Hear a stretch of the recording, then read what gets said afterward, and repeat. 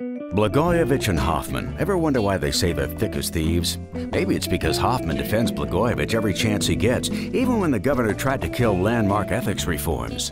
Or because during the trial of Blagojevich fundraiser Tony Rezko, prosecutors cited Hoffman 16 times saying he was present when a bribe was delivered. Or because Hoffman took $440,000 from state contractors, kind of like Blagojevich. Blagojevich and Hoffman, they're thick all right, as thieves.